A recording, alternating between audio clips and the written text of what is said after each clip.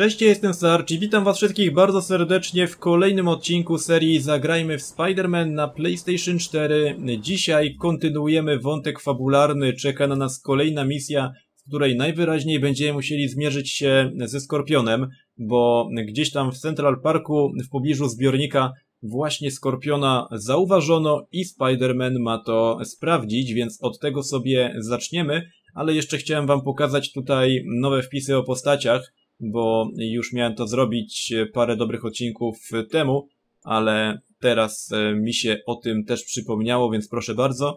Zaczynamy sobie od doktora Morgana Michaelsa, którego jeszcze wam nie pokazywałem, a oprócz tego każdy z sześciu członków ekipy Sinister Six, na czele której stoi oczywiście doktor Octopus. Swoją drogą to jestem zdziwiony, że tak szybko poradziliśmy sobie z Elektro, a także z Vulturem. I jestem ciekaw, czy oni przypadkiem jeszcze nie wrócą, bo to się wydaje aż za proste. Mr. Negative to już akurat wam pokazywałem, ale mamy jeszcze samego doktora Octopusa. Co ciekawe, właśnie tak jest tutaj nazwany, a wydaje mi się, że do tej pory w samej grze on się chyba tak bezpośrednio jeszcze nie przedstawił jako doktor Octopus.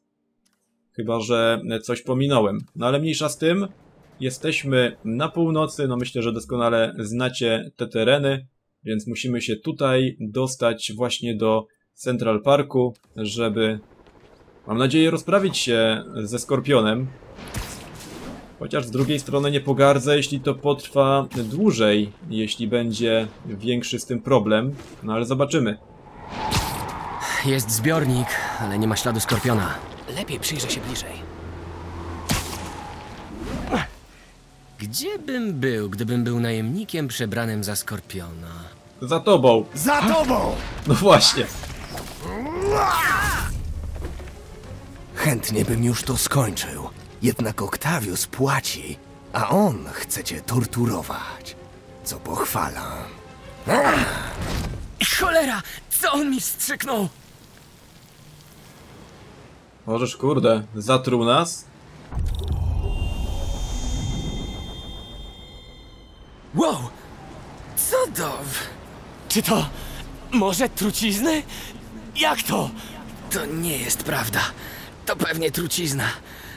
Ale nie mogę ryzykować. Muszę się dostać wyżej i sprawdzić, co dokładnie mi wstrzyknął. Jasny gwint, co tu się dzieje? Okej. Okay. To się musi Spidermanowi wydawać. Niemniej jednak nie schodzimy w takim razie na poziom tego morza trucizny. Trzymamy się od tego z daleka.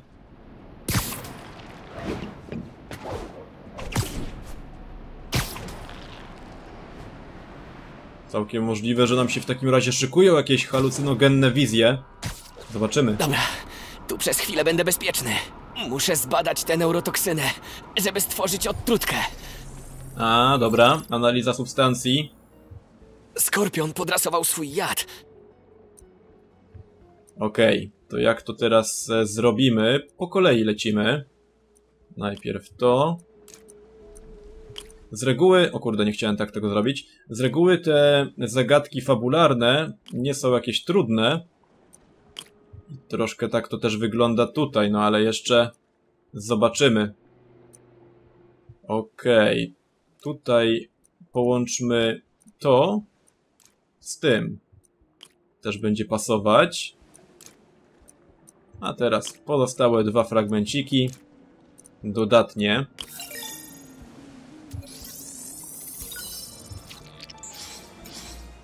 Halucynogenna neurotoksyna. Mój mózg będzie tworzył koszmary, a ciało w nie uwierzy. To nie jest nic dobrego dla Spidermana. Muszę się pośpieszyć z tą odtrutką. Muszę zdobyć najpierw naturalny steryt. Najlepiej sprawdzi się ekstrakt z rośliny Eclipta alba. Niedaleko jest szklarnia ISU. Obym trafił w sezon. Kurde, ta wiedza Spidermana na te wszystkie tematy jest naprawdę ogromna. Jestem pod dużym wrażeniem. Wiadomo, że Peter Parker jest e, geniuszem, ale żeby tak znać się na wszystkich tych różnych substancjach, i jak temu przeciwdziałać, to naprawdę... Jest szklarnia! Eklipta Alba powinna być w szklarni. No to wchodzimy, co? Tam jest!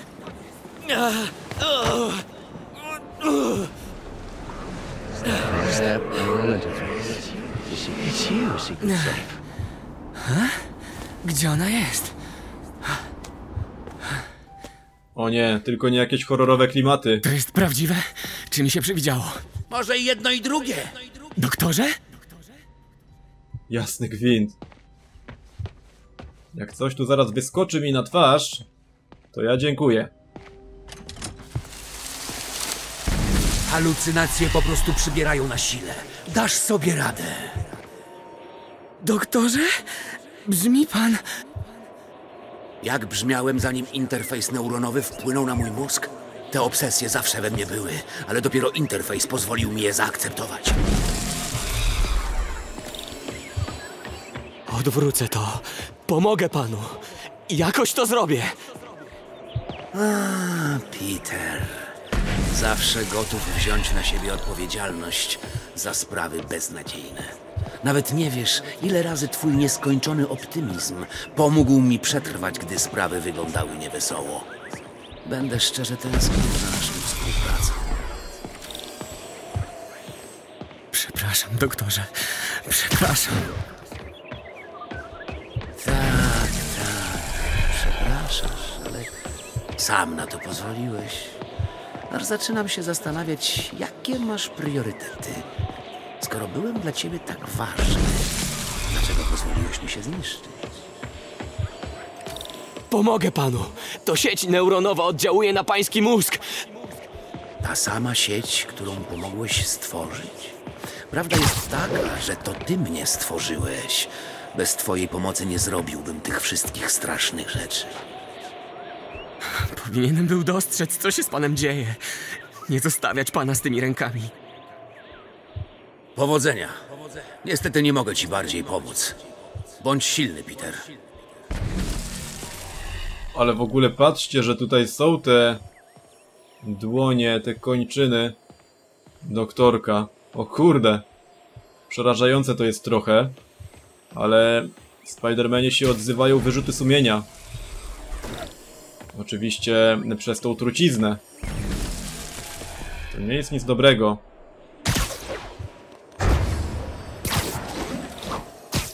Dokąd mnie to doprowadzi? O to jest pytanie. Jajku, jeszcze więcej tych e, dłoni tutaj przede mną. A to wcale nie koniec drogi. Wybijmy się tutaj. Ciekawe, co się teraz dzieje ze Spider-Manem w realnym świecie. Kiedy odczuwa te halucynacje. Jest ta krypta Alba. Dobra, zabierzmy to. O ile to jest prawdziwe. Co tu się dzieje? Czy ja naprawdę spadam?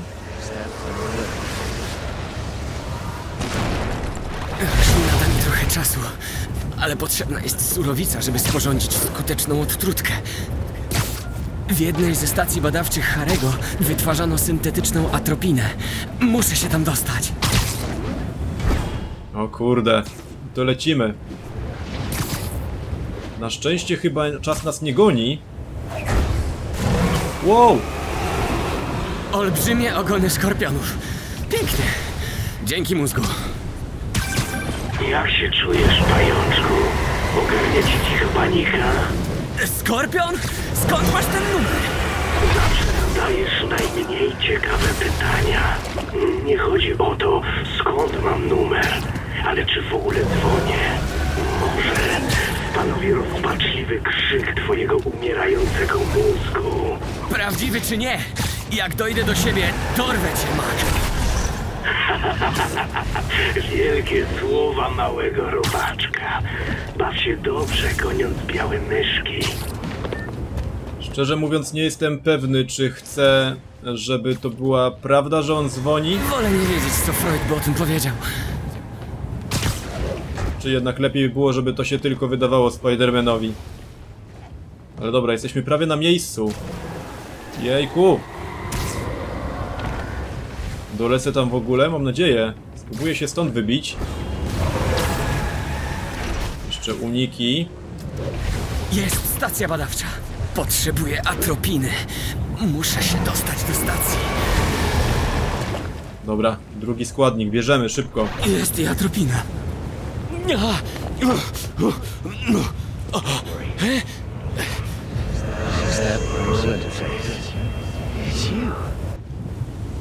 Atropina zniknęła. Jejku, dalszy ciąg halucynacji. Tylko nie to. Znowu się w laboratorium ocknęliśmy. Niby w laboratorium. Znowu doktorek. Spóźniłeś się, tak jak za późno ruszyłeś mi na pomoc. Nie jesteś doktorem! Ależ jestem!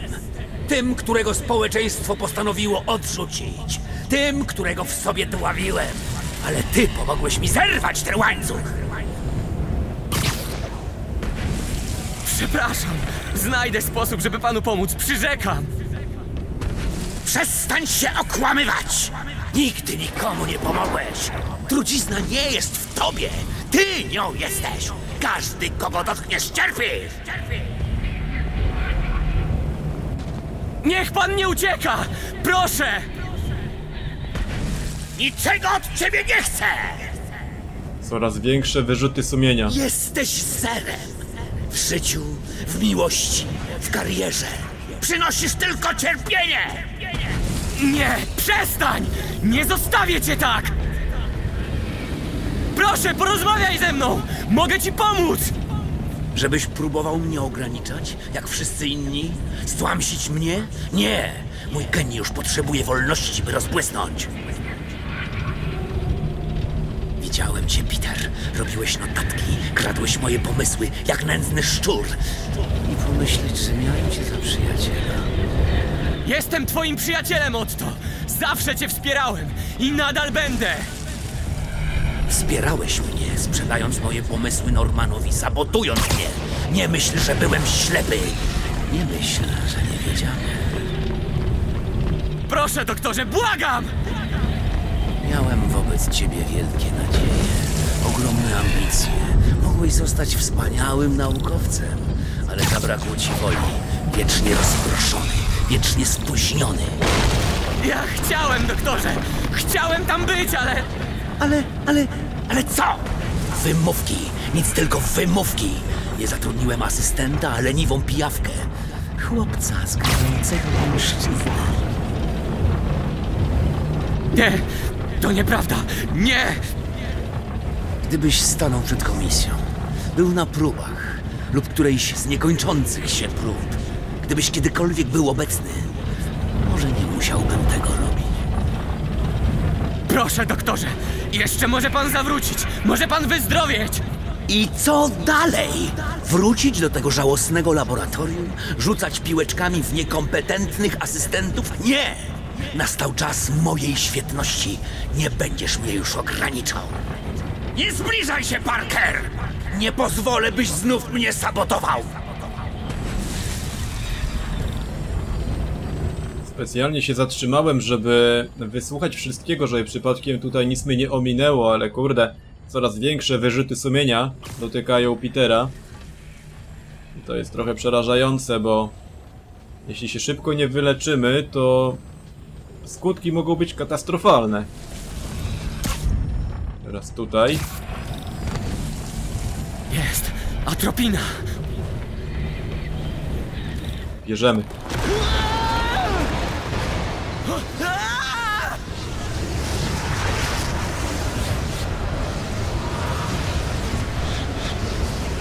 Kiedy to się skończy, ale muszę wam powiedzieć, że misja mi się niesamowicie podoba.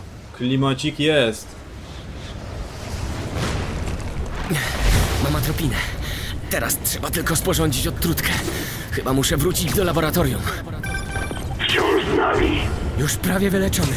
Wybacz, że psuję ci plany. O, pajęczu, nie martw się. Przed tobą mnóstwo niespodzianek. Wkrótce znów się zobaczymy. Masz to jak w banku. A kurde. Ale jednocześnie Ciekawe, czy będę miał okazję teraz go pokonać, jak już się wyleczymy. Muszę unikać tych ogonów. Przecież cały czas to robię, Spider-Manie, spokojnie. Nie damy się tak łatwo Skorpionowi. Jejku, ile tego jest. Po prostu szok.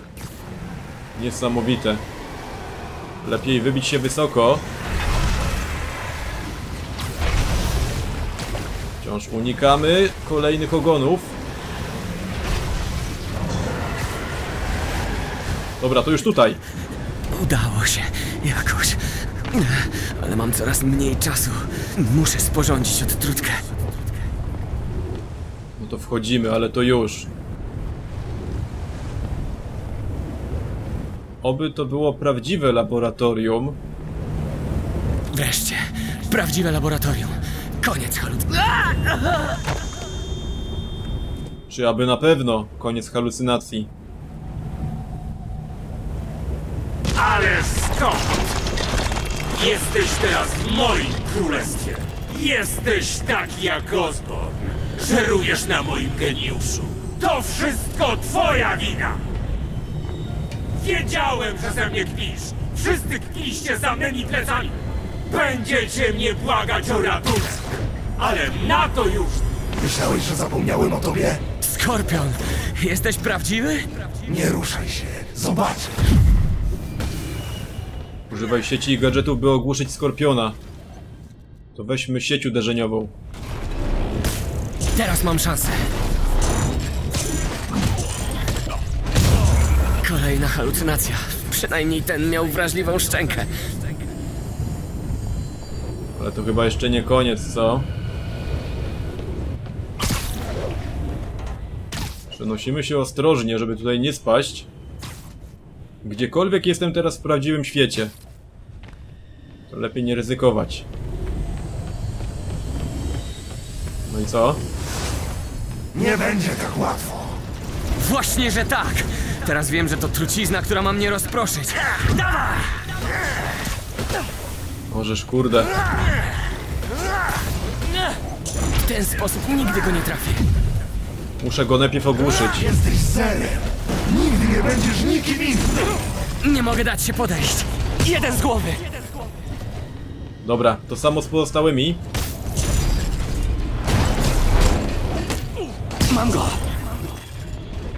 Ciebie świat byłby lepszym miejscem. Dobrze o tym wiesz. Muszę się go pozbyć i skupić na robocie. Nieźle. Jeszcze tylko kilku.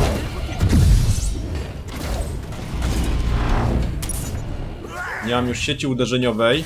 Ładny mi bohater. Każdy, kogo spotykasz, cierpi. To jak walka z trollami internetowymi. Jeden znika, pojawia się drugi. Kolejny z głowy.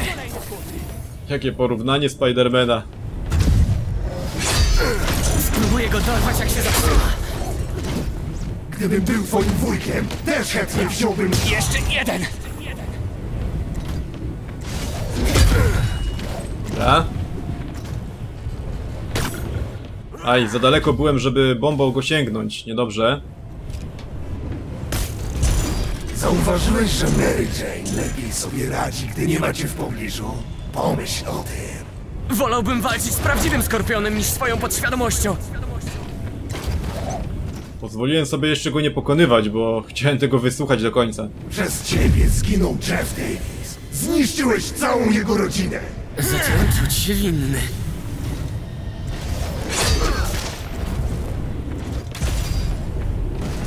Oho. Sam się złapał? Mam nadzieję, że to już koniec. Ledwie staję na nogach. Jest sprzęt, którego mi potrzeba. To szybko, szybko, bo naprawdę nie ma czasu. Mam nadzieję, Spidey, że wiesz co robisz. Wreszcie! Mam już coraz mniej czasu. Czuję to.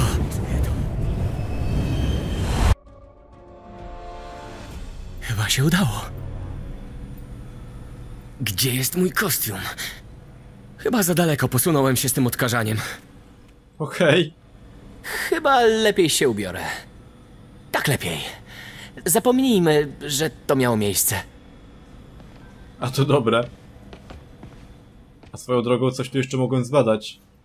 A, bo to chodzi o tę tablicę. Kurde, ciekawe to było, no musicie przyznać. Tak, swoją drogą, skoro jestem w laboratorium, to bym też jedną rzecz może sprawdził z tymi badaniami. Bo miałem tutaj jeszcze jakieś do nadrobienia i tak na szybko może bym je wykonał. Zobaczmy na chwilkę.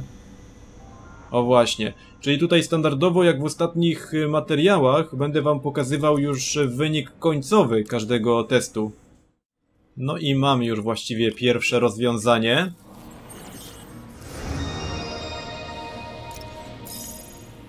Przechodzimy dalej. Interfejs śródczaszkowy, faza pierwsza. Tutaj też się uda, tylko muszę podmienić plus 2 na plus 3. Mamy to. Interfejs śródczaszkowy, faza druga, tym razem. Doktor sporo pracował nad tym interfejsem neuronowym. Tutaj jest o tyle ciekawie, że musiałem jeszcze dorzucić takie dwa fragmenty rozgałęziające tę ścieżkę na dwie strony, żeby połączyć więcej tych części. I tutaj jeszcze dorzucamy plus 2, a tutaj plus 3.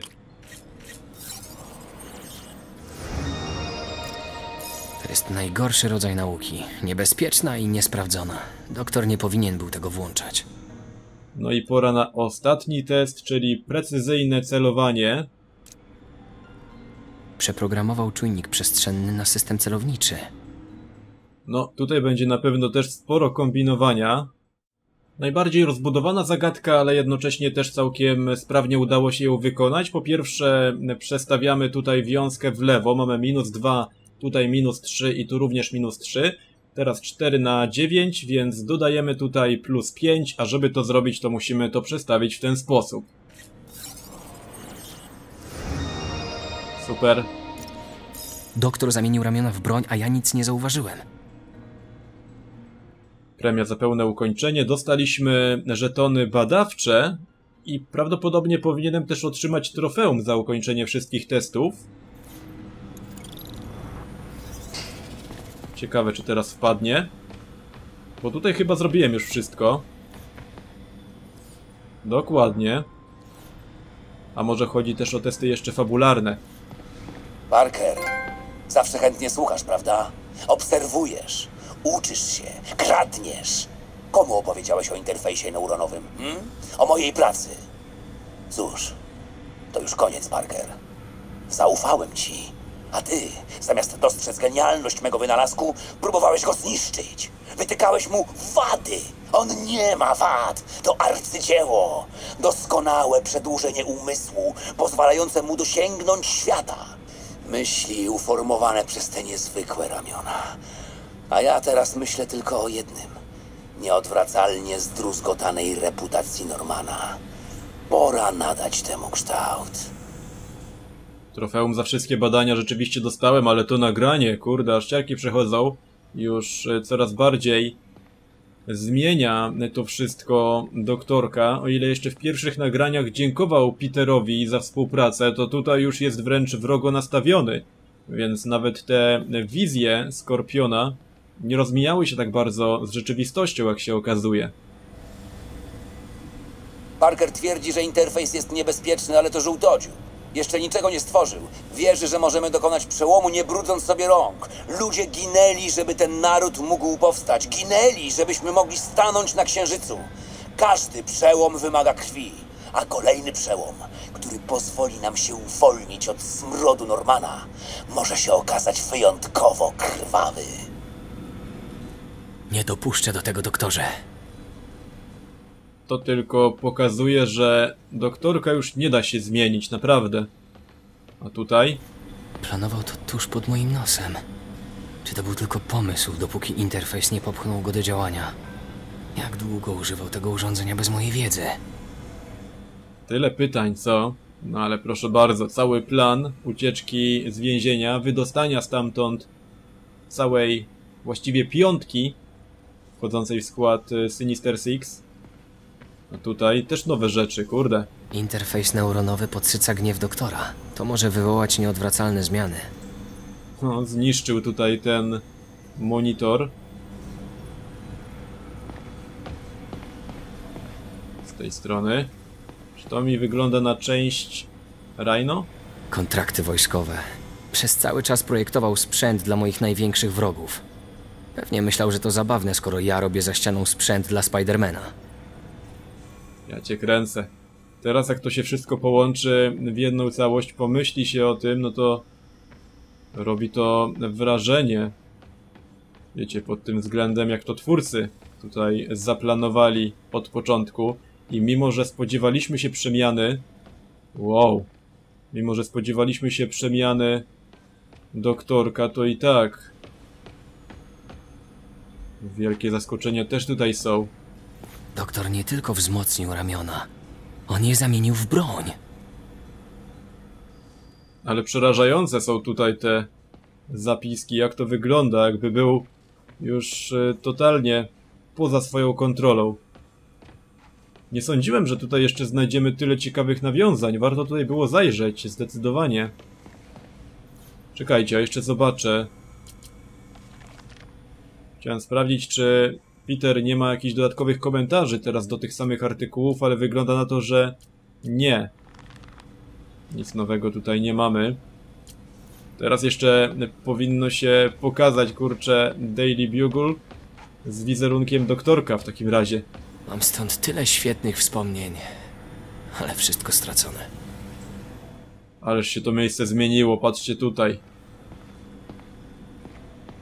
Zniszczyć wszystko, dosłownie. Jedyny cel w tym momencie doktora Octopusa.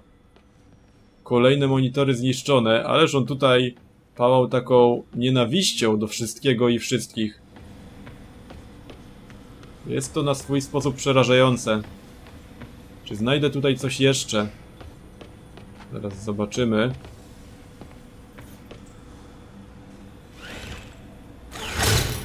O kurde. To już zupełnie inne działanie tej protezy. Kurczę, no widzieć te wszystkie zmiany teraz na bieżąco, to też jest wielka rzecz. A można równie dobrze to wszystko pominąć, jeśli byśmy od razu stąd wyszli. Cieszę się tym bardziej, że tutaj zostaliśmy. Zastanawiałem się, czy będzie też jakaś inna muzyczka w radiu albo coś, ale nie za bardzo. No dobra, to będzie chyba już naprawdę wszystko. Czy jednak tutaj jeszcze coś więcej? Parker twierdzi, że interfejs jest nie... Nie, to już się powtarza, więc nie musimy tego słuchać ponownie. Wyjdźmy zatem z tego laboratorium.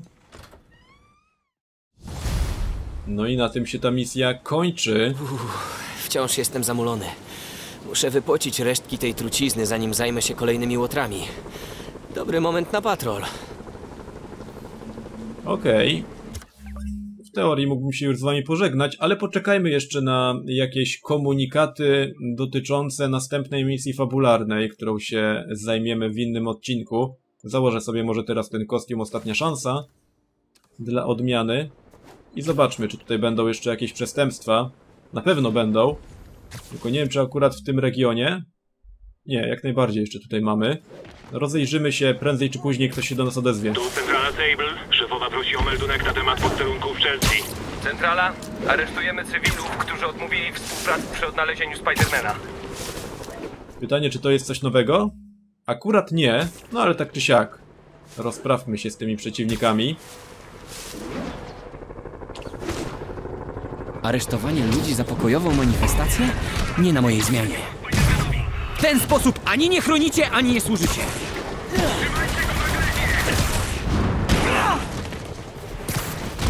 Co oni tutaj wyprawiają, to naprawdę jest szok. MJ, cześć. Mogę ci zadać dość kłopotliwe pytanie etyczne? Kiedy można skreślić przyjaciela? Pete, myślisz o obcym? To takie oczywiste. Tak, ale też zrozumiałe. Wielkoduszna część mnie pragnie powiedzieć nigdy. Prawdziwi przyjaciele trwają przy sobie, nawet gdy jeden z nich pada. Ale to, co zrobił Otto, sama nie wiem. Musisz się zastanowić, czy Otto Octavius, którego znałeś, nadal tam jest. I czy w ogóle kiedyś był. Tak. Tak. Nie odpuszczać! Dzięki, MJ. Muszę sobie przemyśleć parę spraw. Dzwoń, kiedy chcesz. Jestem przy tobie. To miło ze strony MJ, ale też i Peter musi sobie z tym sam poradzić. Dobra. Lecimy dalej, bo to nadal nie był telefon, który by rozpoczynał ewentualną misję na przyszłość. Ale na pewno jeszcze coś tutaj znajdziemy po drodze. Oho. Teraz tam. I jest to akurat coś nowego. Policjanci pod ostrzałem. Cztery ciche eliminacje i zrzuć czterech przeciwników z dachów. Coś podobnego już mieliśmy, ale ostatnio chyba z inną grupą. Wtedy to było Sable, a teraz, jak rozumiem, bandyci. Właściwie teraz to więźniowie, a nie bandyci. No dobra, zobaczmy. Problem w tym, że nie mamy gości tutaj na dachach, akurat przynajmniej po tej stronie. Chyba, że tamten. Czekajcie. Muszę trochę bardziej pokombinować, żeby to zaliczyć z dodatkowymi celami. Zobaczmy. I proszę bardzo, jednocześnie cicha eliminacja. Oj. Tutaj tak samo, jednocześnie cicha eliminacja i zrzucenie przeciwnika z dachu. Super. Możemy zatem kontynuować. Teraz tam polecimy. Okej, muszę się zająć Skorpionem, ale od czasu pożaru nie widziałem się z ciocią May. Chyba wpadnę na moment do Fist. Spokojnie, Spiderku, prędzej czy później to zrobimy. Jak już się będziemy tym zajmować. Pora na drzemkę. Dobra, następny załatwiony. To są te ciche eliminacje, ale jeszcze właśnie zrzucać przeciwników. Czyli tam akurat mam jednego snajpera, którego mógłbym ewentualnie zrzucić. No ale nie mogę jednocześnie zapominać o tych cichych eliminacjach. Czyli jeszcze jedną chyba muszę wykonać. Czekajcie, jak to teraz zrobić, żeby się nie zorientowali? Prześpij się z tym. No dobra, teraz ich zrzucimy, co? Łapcie Spidermana! Wiem jak to rozsądzimy. Pojedynkiem tanecznym. I to będą wszyscy.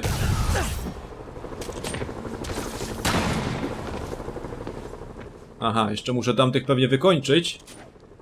Żeby się to ostatecznie zaliczyło. Spokojnie. Wszystko mi jedno, gdzie cię zastrzelę.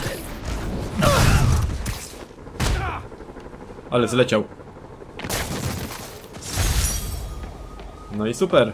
Nigdy nie było mi po drodze z glinami, ale nie mogłem tak po prostu na to patrzeć. Ciekaw jestem, czy nie natrafiłbym jeszcze na jakieś nowe przestępstwo ewentualnie. No i nawet nie musiałem długo czekać, a akurat natknąłem się na atak na konwój z jedzeniem. Muszę wykonać e, pajęcze rzuty. Traf pięcioma rzeczami i wykonaj serię 20 lub więcej ciosów. No to lecimy. Awaryjne stacje zaopatrzenia. Potrzebne wsparcie w Meatpacking District. Odbiór. Chorzy mogą nie przeżyć bez tej żywności. Dobra, pokazać się najpierw. Spiderman! Pokażcie mu na co nas stać! Hej! Mam dla ciebie fangę w nos! Tylko wycelować.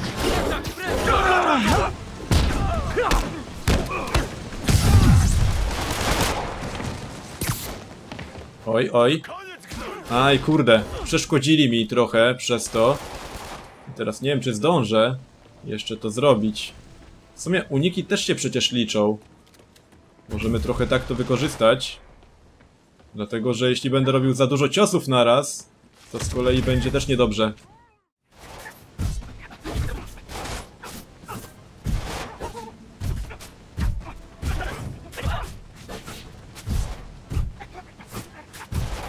No i dobra, witam was z powrotem po cięciu, bo próbuję robić tę serię na samych unikach, no i wreszcie mi się to udało. Teraz trafimy pięcioma rzeczami jeszcze w przeciwników, tylko muszę coś tutaj złapać w tej okolicy. Na przykład tutaj motocykl przed nami. Dobra. I co ty na to, pająku? Trochę to potrwało, ale teraz już się powinno udać bez do A wolałem już to kurczę zaliczyć, skoro miałem teraz taką opcję. Nie zwlekać z tym dłużej. Dobra, jeszcze jeden przedmiot, jakiś obiekt i mamy to zaliczone wreszcie. Więc teraz tylko wykończmy ich.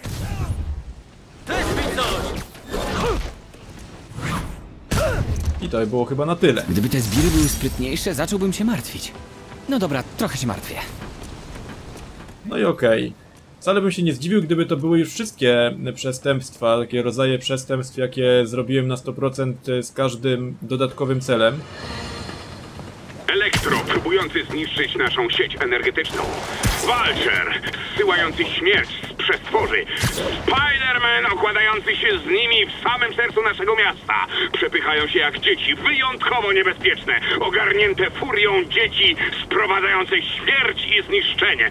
Ludzie często zadają mi pytanie, dlaczego takie szkodniki mają supermoce? Dlaczego nie ma ich ktoś taki jak ty, Johna? Wiedzcie, że rozważałem skorzystanie z dobrodziejstw nauki i zdobycie takich mocy.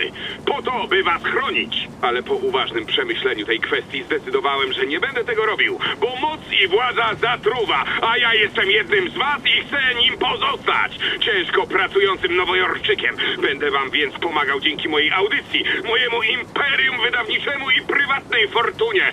Nie musicie mi dziękować, jestem altruistą. Jestem jednym z was. O kurde, a swoją drogą wyobrażacie sobie J. Johna Jamesona jeszcze z jakąś dodatkową mocą? Bo jeśli by do czegoś takiego doszło, to chyba tylko by go to zmieniło jeszcze na gorsze. Można tylko spekulować. W każdym razie w tym materiale to by było wszystko. Zostawcie kciuka w górę, jeśli odcinek wam się podobał i oczekujcie na następne filmy na kanale. Cześć!